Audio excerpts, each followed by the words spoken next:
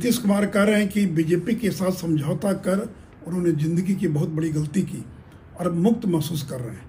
नीतीश जी, मैं आपको याद दिलाना चाहूँगा कि 2013 में जब आपने भारतीय जनता पार्टी से गठबंधन तोड़ा था, उसमें आपने क्या कहा था? संघ मुक्त भारत की बात कही थी आपने। आपने कहा था, मिट्टी में मिल जाएँगे, लेकिन संघ और बीजेपी से हाथ नहीं मिलाएँगे। फिर तीन साल के बाद क्यों हाथ मिला लिया? और सत्रह महीने के बाद जिस राजद से आपने हाथ मिलाया उनको क्या कहा आपने? कि जिन राजद के नेताओं पर भ्रष्टाचार के आरोप लग रहे हैं, उनको इसके बारे में सफ़ाई देनी चाहिए। मेरी अंतरात्मा स्वीकार नहीं करती कि मैं ऐसे लोगों के साथ गठबंधन में रहूँ। और आपने ये भी बयान दिया कि बेनामी संपत्ति पर कार्रवाई किए जाने के मैं पक्ष में हूँ और जिन लोगों पर बेनामी संपत्ति की कार्रवाई हो रही है, उनके साथ मैं सरकार कैसे चला सकता हूँ? तो नीतीश जी, कभी आप बीजेपी को कहते हैं मिट्टी में मिल जाएँगे, कभी राजद को कहते हैं कभी माझी जी को बनाते, हटा देते, कहते, गलती हो गई।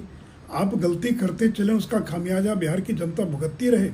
अब बिहार की जनता आपको बर्दाश्त करने के लिए तैयार नहीं है।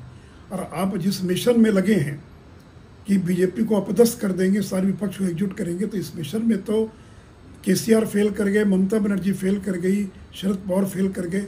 आपको भी फेल होना अवश्यंभावी है। कोई भी नरेंद्र मोदी का कितना भी प्रयास कर ले, कोई मुकाबला नहीं कर सकेगा। देशवा न्यूज़ पर। वीडियो देखने के लिए लाइक करें, सब्सक्राइब करें। साथ ही बेल आइकन दबाना न भूलें।